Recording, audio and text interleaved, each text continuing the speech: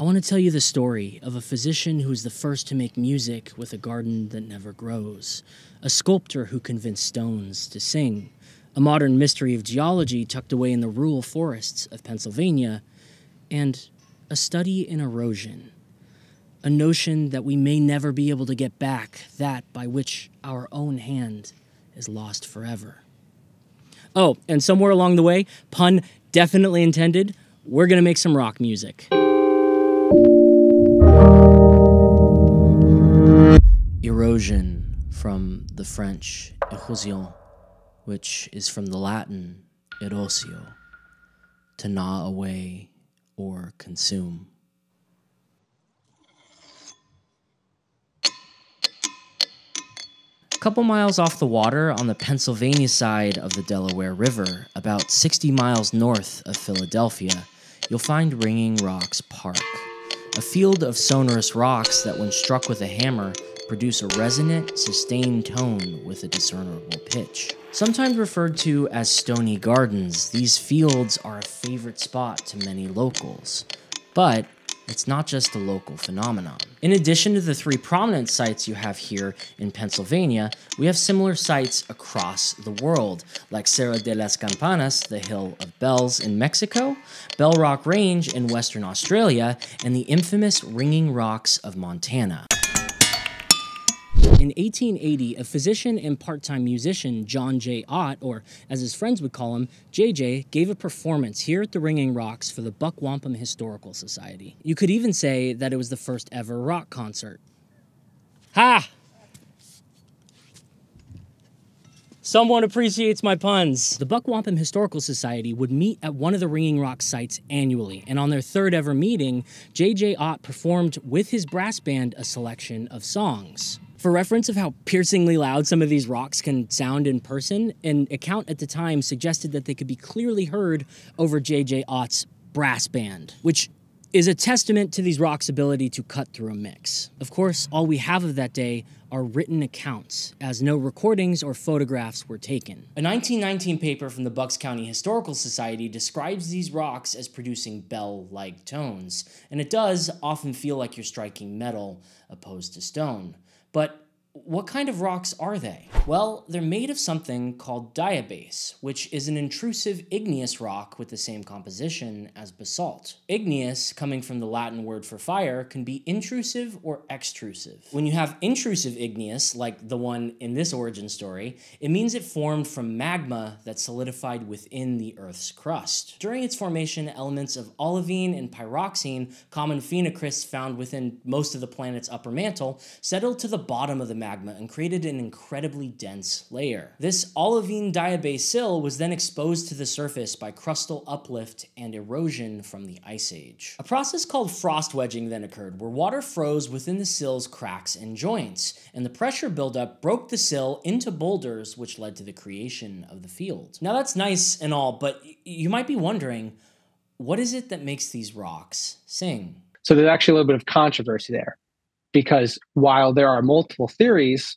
there's actually not much testing that has been done to actually figure that out. This is Rockman Ethan, a geologist and an incredibly talented science communicator. If you haven't checked out his What's inside that rock series, definitely do so after the video. When I was looking up multiple sources uh, for the ringing rocks and trying to get like the best understanding of different scientific experiments that have been done, there's only been one scientific experiment. That experiment was conducted in the 1960s by a Rutgers professor who sought to open the rocks at the park in order to figure out what was going on. But before that, people theorized that it had to do with the iron content of the rocks. And you'd say, okay, well, let's do a chemical analysis of uh, the diabase rocks. And they found that it's it's higher than most volcanic rocks. I think granite comes in around at uh, three percent. These diabase rocks came between nine percent and twelve percent iron and they, measured the ferric oxide composition of them.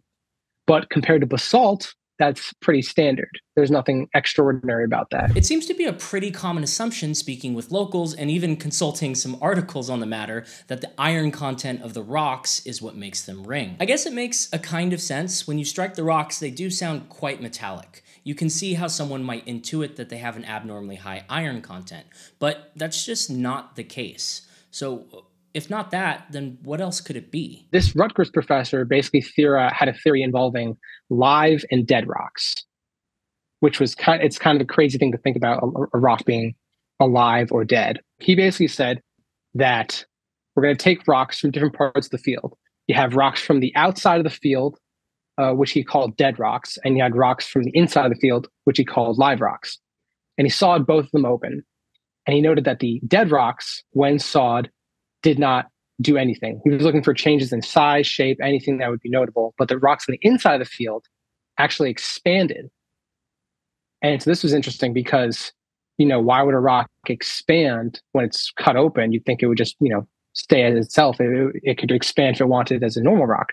But then he theorized that because the rocks on the outside of the field were interacting with soil, tree shade, other things that would influence their weathering rate, that the weathering rate itself was the cause for uh, differing ringing ability, and that a slower weathering rate actually led to the rocks being able to ring. So it's the slow weathering rate that causes this mysterious ringing ability? But this doesn't actually capture the whole picture, because weathering only occurs on the tops of rocks as they're exposed to sunlight and weather conditions. If the bottom wasn't being weathered, you'd have an imbalance of stress within the rocks, which would seem to run counter to what we observe. If it was a, a slow weathering ability that did cause the ringing ability, then you'd have ringing rocks all over the world in deserts, the Arctic, anywhere that rock is exposed, which isn't the case. So, if that's not it, then what could the answer be here? What it likely is, is that he was very close because he was correct about stress. Stress is probably what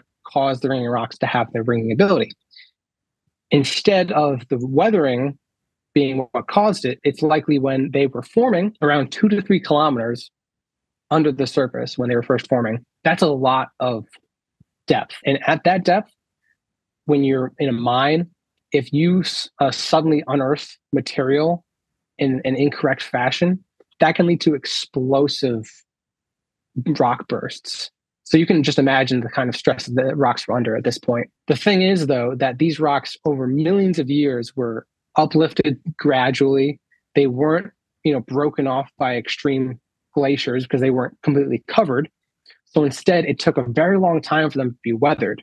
And this gradual weathering and not mechanical weathering is what led to the pressure slowly dissipating but not being completely gone. So, this very specific gradual weathering and not mechanical weathering is what led to the pressure within the rocks to slowly dissipate to a sort of sweet spot, allowing them to ring or uh, at least that's the theory. This theory of relic stress understands the ringing rocks much like the string of a bass. When detuned and plucked, the string is loose and does not resonate enough to produce a recognizable tone. However, when tuned and under tension, you can pluck the string and hear an audible note. Likewise, a ringing rock boulder will only produce a dull thud if the boulder is de-stressed. However, Boulders will resonate at various frequencies depending on the level of residual stress. Only about a third of these rocks are considered to be live rocks that ring. This was confirmed by acoustician Colin Warwick in 2020, who sampled an even distribution of 534 rocks across the park, of which only 167 of them actually rang, putting the percentage of ringers around 31%, give or take a few, depending on how he defines live rocks. So that just shows you kind of like the the crazy chances that had to be involved to get this perfect ringing ability. In a 1907 entry from Technical World magazine, writer William C. Richardson describes the tones produced from these rocks as running upward from middle D on the piano. But in my experience, field recording here in the same spot nearly 115 years later, the rocks that show a lot of evidence of play rarely go as low as middle D. In fact, several frequency measurements from these rocks around the turn of the century seem to be quite a bit different in pitch than what I found on the prominently played rocks today. Granted, almost none of the rocks produce just a single tone. Instead, they're quite polyphonic, with a single rock producing several tones, usually with little to no relation to each other. It's not like being able to hear different partials up the harmonic series from the incidental timbre of the one note. You're literally hearing multiple fundamentals, probably resulting from a combination of shape, position, internal tension, and size of each rock. Still, you can often discern a stronger fundamental with each rock, which is what I'm going to assume these old frequency charts were referring to. Could a hundred years of chipping away at the rocks have altered their tone? Maybe I'm not testing the exact same rocks that they were. Or have the rocks just changed in pitch from 1907? In purely geologic terms, erosion is a process in which earthly materials are worn away and moved by natural forces, like water or wind. Human intervention might not be considered in the truest, most scientific definition of the word. You probably couldn't call humanity's effects on the ringing rocks erosion, but for whatever reason, can't get that word out of my head.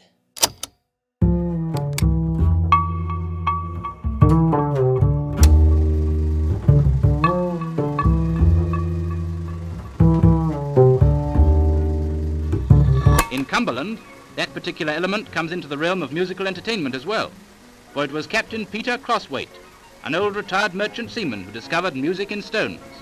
On such a road as this near Keswick, he accidentally struck a stone that gave forth sweet sounds, and this is the result.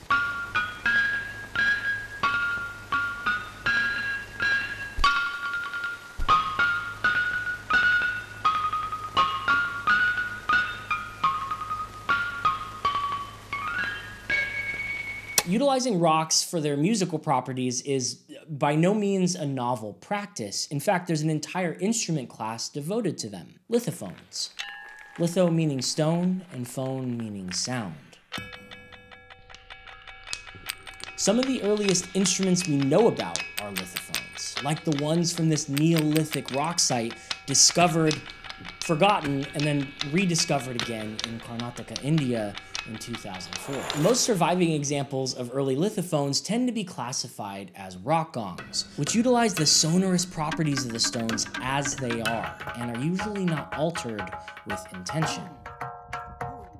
Similar rock gongs can be found all across Africa at sites in Burkina Faso, Nigeria, and Uganda. However, not all lithophones are rock gongs. Take the ancient Chinese qing, which Sorry if I'm mispronouncing that, are stone chimes, traditionally made of either resonant limestone or jade, that has been shaped, tuned, and suspended in order to be played melodically. These chimes played a huge role in early Chinese dance music. This is the Vietnamese đàn đá.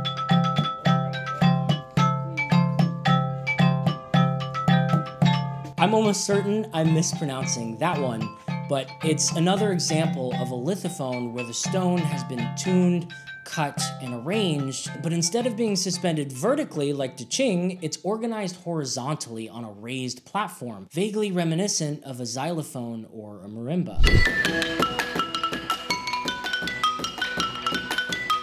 Sometimes lithophones are used in religious contexts.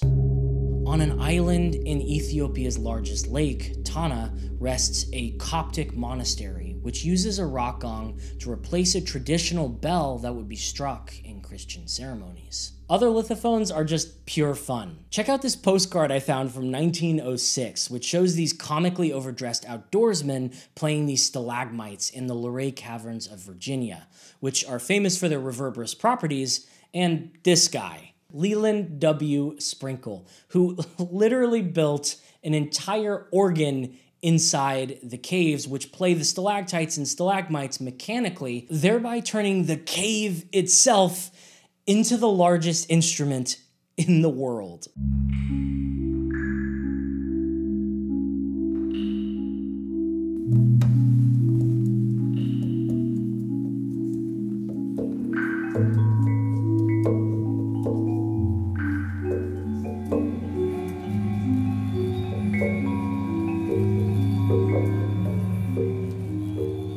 Lithophones come in all shapes and sizes, with a multitude of cultural and musical functions, from simple lithophone marimbas like this, to this electromechanical lithophone MIDI robot that covers Vulfpeck's It Gets Funkier 3.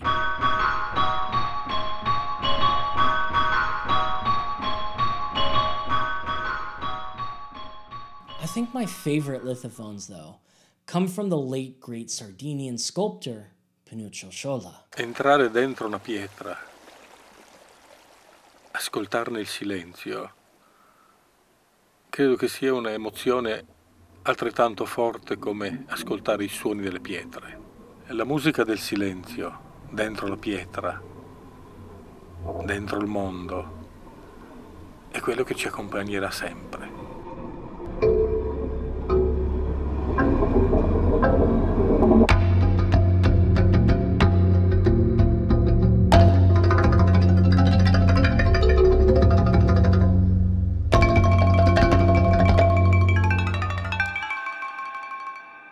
Sciolla crafted these gigantic, monolithic, geometric sculptures he called pietre sonore, which all sung in ways that you wouldn't think stones could sing.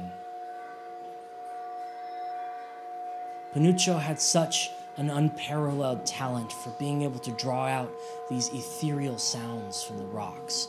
He redefined what lithophones could do and how they could sound. Fortunately for us, though, you don't need to be a master sculptor to have fun at the Ringing Rocks. Hello there. Would you like to bring the sounds of the Ringing Rocks into your home or studio? Well, now, for the small investment of $1 a month, you can. That's right, I'm finally launching my Patreon. For as little as a dollar a month, you'll have access to all my sample packs, including stems, loops, and behind the scenes materials. And other perks like early access to videos, extended cuts, your name in the credits, and hangout sessions where we can talk live about anything and everything music. Click the link in the description to support the channel. It really does help. I appreciate it. All right, enough selling, let's get back to the video. JJ Ott would construct something very similar to the Vietnamese đàn đá right here amidst the rock field. From the suggestion of local historian William J. Buck, rocks weighing around 200 pounds each were carefully selected from the rock field,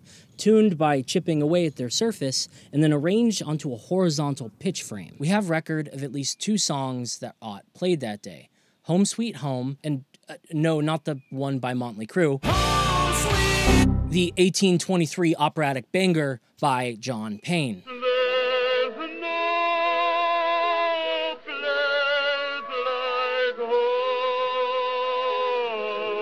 That side note was apparently so moving of a song, it was banned from being sung in Union camps in the Civil War for being too, quote, likely to incite desertion. And the second song, which is what I'm interested in, an original composition by Ott entitled Sounds from the Ringing Rocks. There is no recordings from that day, and as far as I can tell, Ott never wrote down any notation for his song. Now, curiously, there is an 1873 instrumental piano piece with the same name by composer B. Frank Walters. So maybe Ott was actually playing that song and and the Historical Society's accounts were incorrect? It's actually more possible than you might think. There are a bunch of articles that back up the claim that this song was indeed an original, but they all lead back to the same source, and it doesn't seem like any independent sourcing has ever been done. But who knows, maybe he was just inspired by the title. It's been known to happen. For what it's worth, all accounts do back up the claim that Ott's Sounds from the Ringing Rocks is an original. Like I said, there are no recordings of that day, but I thought I might take a listen to B. Frank Walters' Sounds from the Ringing Rocks just to get a feel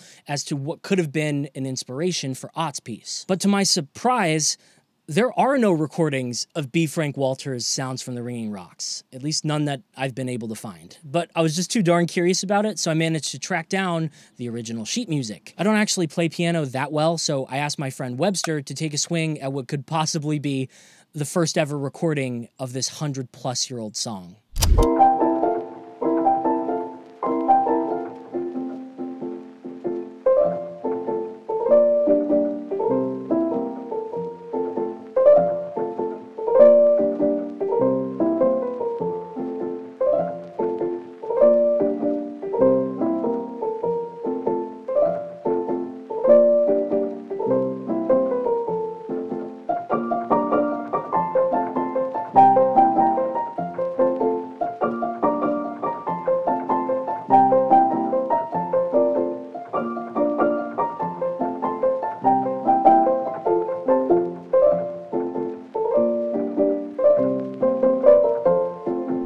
Love those early American Steamboat Willie vibes. If I wanted to orchestrate this onto the rocks uh, with a brass band, it might sound like this.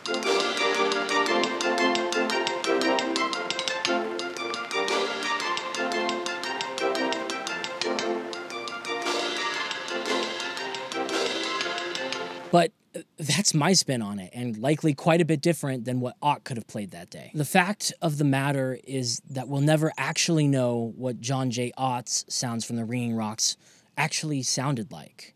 All accounts claim it to be an original, and there's no evidence to suggest that Mr. Ott borrowed anything than perhaps the name from B. Frank Walters. So it makes a forensic post music theory analysis uh, nearly impossible. Sure, we could take the other song we knew for a fact he played that day, Home Sweet Home, and extrapolate maybe a key from some old sheet music and maybe find some common notes between that and sounds from the Ringing Rocks, but I, I don't know, that seems dubious. The stones that Mr. Ott tuned, bound, and played that day have since disappeared, presumably put back with the rest of the rocks, and will likely never be found amongst the rubble of Stony Garden. And even if we could reconstruct Mr. Ott's lithophone, it's been a long time since 1880. The park sees thousands of visitors every year, all that chipping away at the rocks may be altering their tones and pitch irrevocably. It bothers me that John J. Ott's Sounds from the Ringing Rocks is lost amongst this field of stone. It feels like a piece of history has disappeared beneath my feet. Like I have all the puzzle pieces, but I don't know what I don't know. And so I don't have the capacity to understand how it all fits together.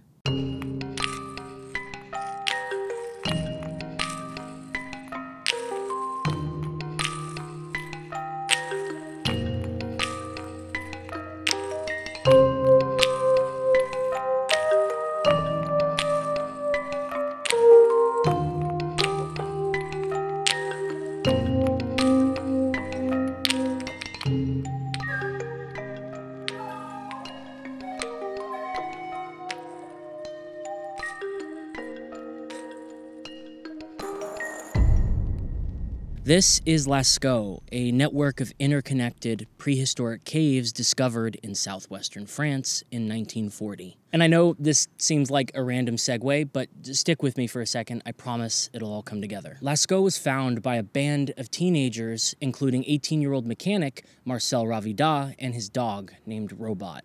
When taking a stroll through the French countryside, Marcel and Robot would stop to inspect a curious hole made by an uprooted tree. They would find that the hole led directly into a cave, and when they stumbled into the dark, they'd uncover possibly the greatest find in the history of prehistoric art 2,000 prehistoric cave paintings perfectly preserved, which possibly date back as far as 20,000 years. This find was so significant that many call Lascaux the cradle of man's art, as did this 1952 film of the same name. Here on the walls of Lascaux, in paintings, signs, and dots, are perhaps the beginning of man's religion, his writing, his mathematics, and his art. Surely it was a day filled with magic, too, that revealed to these two French boys such a deep glimpse into mankind's distant past. Lascaux was well sealed, most likely due to a cave in at the original entrance. So it's one of the only examples of prehistoric art perfectly preserved. Or at least it was. Lascaux opened to the public in 1948, with thousands of visitors every day shining lights across the walls and breathing inside the cave. Air quality went down and the paintings started to deteriorate. Mold and fungi started to develop on the walls, and the art that was once so vibrant started to fade and lose its clarity. Author and YouTuber John Green once wrote about the caves and on the effects modern humans have on that of ancient humans, that sometimes just the act of looking at something can ruin it. In just 15 years, by our mere presence, we destroyed the art more quickly than in the past 15,000 years before that. Lascaux closed to the public in 1963. Efforts to preserve the cave are ongoing.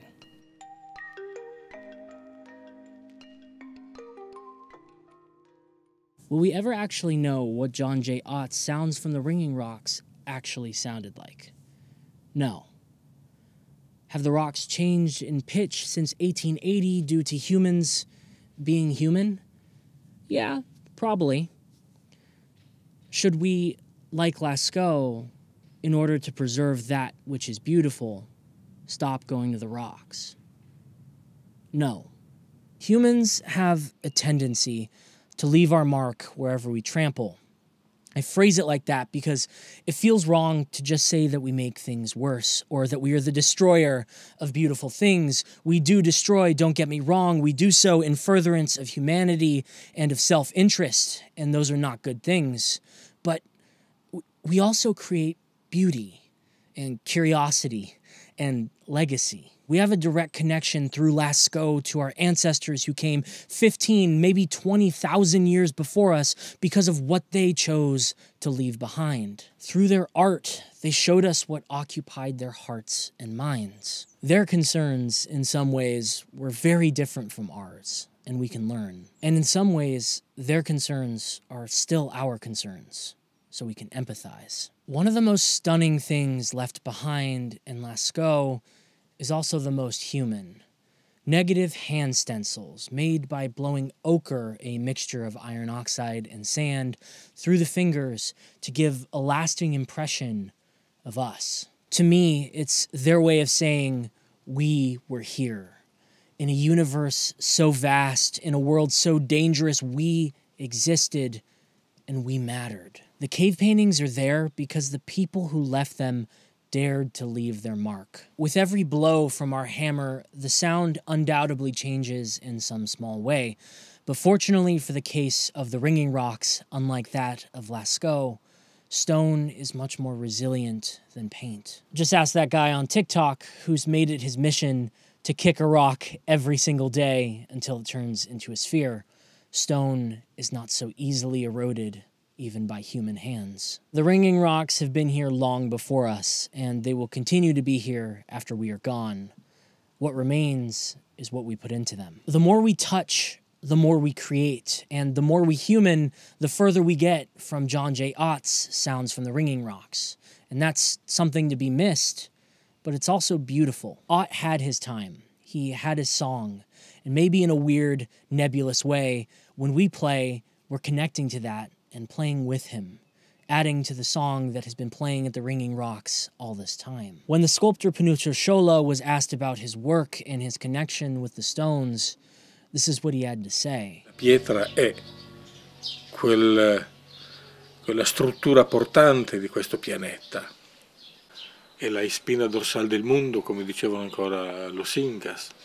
La pietra oggi è la memoria dell'universo. Sciolla believed in the beauty that existed between the collaboration between stone and man. He would often talk about opening up rocks just enough to allow them to sing and to tell their story. He knew better than anyone else that what we find when we play the stones is ourselves reflected into the rocks we carve. When I was on location for this video in Pennsylvania, I stumbled across this charming, slightly run-down antique store and I found these postcards of the Ringing Rocks.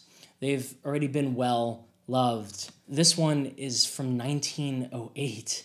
It reads Dear little Ruth, remember, you were here from your grandmother. I wanted to compose something at the Ringing Rocks which encapsulated some of these thoughts I've been sharing with you. This is what I came up with the music is set for eight players. Each performer will play the same consistent half note rhythm on their individual rock. Using a compositional technique called phasing, each player will be offset from their neighbor and displaced by one 16th note. This way, we fill a perfect 16 note grid rhythmically. Each musician, or because I'm running an extremely low budget production here, each Levi will theoretically draw straws, or maybe more aptly, pick rocks, and allow the order to organize when each Levi or each musician will cut out in the music and stop playing. As each Levi drops out, a new composite rhythm will appear to the listener until the last Levi drops out and we're left with nothing but a stark silence. Every time you perform this piece, so long as you're drawing different straws or rocks or what have you, it'll sound different You'll hear new sequences, new rhythms, and you'll never hear the same piece in the same way twice. This piece is called Erosion.